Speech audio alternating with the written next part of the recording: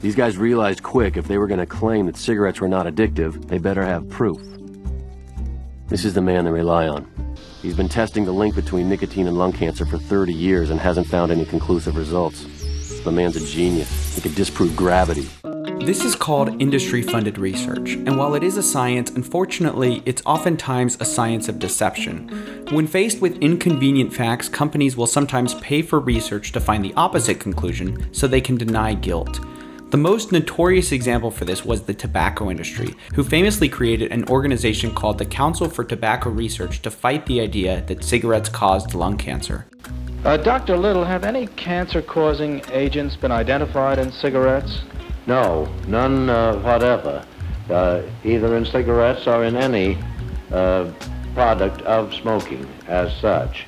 Now, fast forward a few decades, the public eventually found out the truth, and the CTR was exposed as a sham. But as the world turned its attention to new problems, one industry found itself in familiar crosshairs. We Americans spend more money on slots than on movies, baseball, and theme parks combined. But with the modern slot machines, there's a greater potential for a dangerous side effect gambling addiction. Problem gambling has become an epidemic. Last year, the American Psychiatric Association reclassified pathological gambling as an addiction. Uh, Las Vegas and other casinos are like giant laboratories, and the features that earn higher will stick, and those that don't will drop away. The formula they've hit upon happens to be one that's highly addictive. The gambling industry was being accused of preying on the wallets of addicted gamblers, addicted gamblers that they helped create with their carefully designed machines. Howard Shaffer, researcher at Harvard, noted this increased addictiveness of modern games like slots by calling them the crack cocaine of gambling. In the midst of all this horrible press, the gambling industry needed a strategy to stay alive.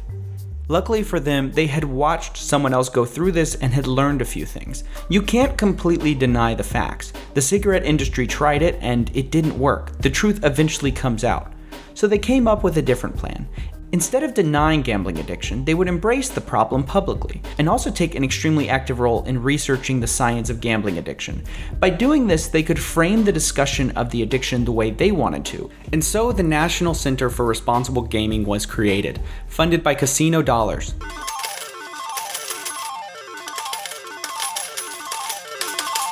And here's how they describe gambling addiction today. So, what exactly is a gambling disorder?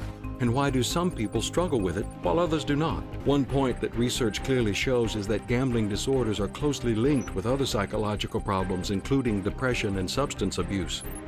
We also know that, over time, proximity to casinos does not impact the prevalence of gambling disorders. And while the vast majority of people gamble responsibly, approximately 1% of Americans are diagnosed with a gambling disorder, now, it might not surprise you, many of their findings are in direct contradiction to scientific studies that aren't backed by casino dollars. But rather than nitpicking everything, I want to focus on their macro message.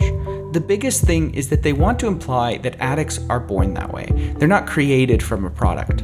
If you can blame addiction on brain problems within the addict, you're indirectly vindicating the gambling machines.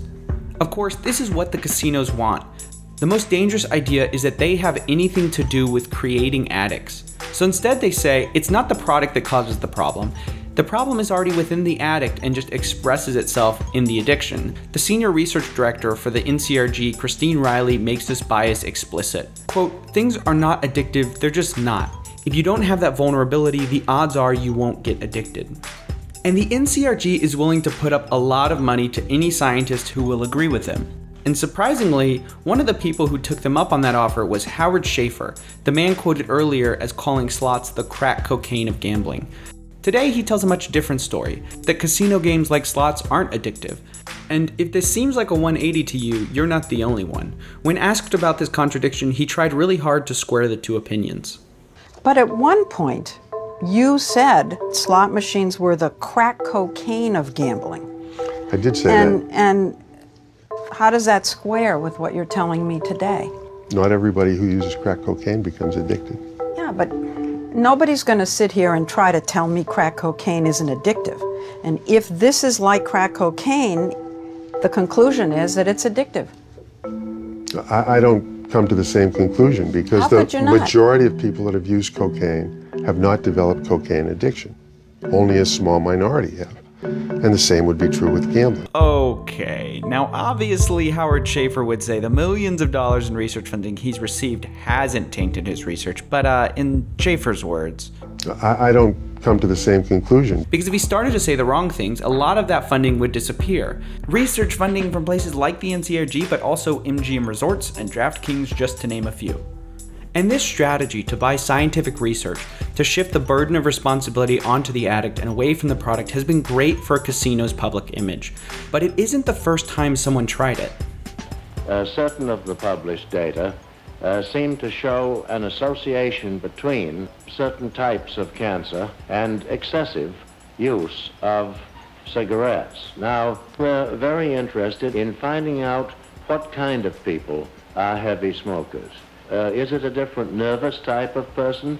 Is it a person who is reacting differently to strain or stress? Because it is very clear that certain people just can't, can't take it.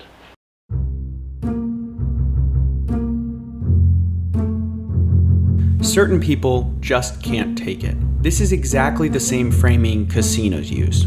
Why do some people struggle with it while others do not? Certain people just can't, can't take it.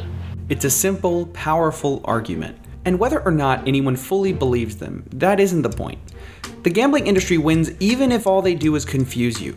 If they can cast doubt on the scientific consensus of what causes gambling addiction, they've won because nobody's going to legislate on something that the scientific community isn't agreed upon. And the problem of deliberate misinformation is widespread. It goes beyond just smoking and gambling.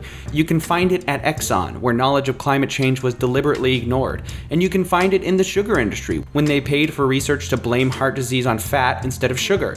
You can even find it in my favorite soda company, Coca Cola, when they publicly said they care about the problem of soft drinks but deny it in the science. So if we know this problem is widespread, why do we continue to fall for it?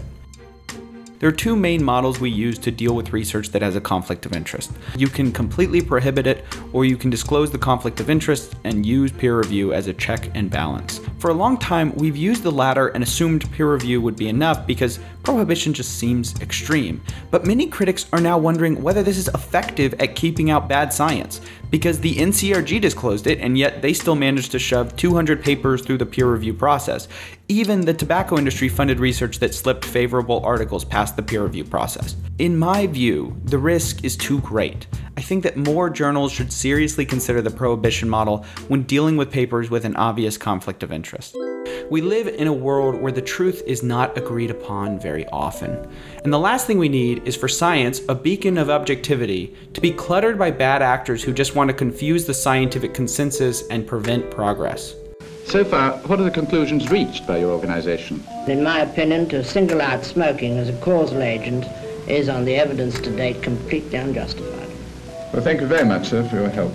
Well, thank you very much for letting me put our views forward. You better have a cigarette before you go. Thank you. Before you go, we have a sponsor, our very first sponsor, so thank you to Audible for sponsoring this video. You can get a free audiobook and 30-day trial by going to audible.com slash break or texting break to 500 500. Most of the ideas you see on this channel are inspired by books, and one of the ways I get through books is by listening to them in the car, at the gym, walking, whatever. Uh, it's a great way to just take some books down in your free time. Today I wanted to recommend Hooked by Nir Eyal, which is about how people engineer addictive products, and I think it goes right in line with this video if you want to learn more. So once again, you can get a free audiobook like Hooked by Nir Eyal, or any book that you choose from their amazing library, by going to audible.com slash break or texting break to 500 500. Thanks for watching.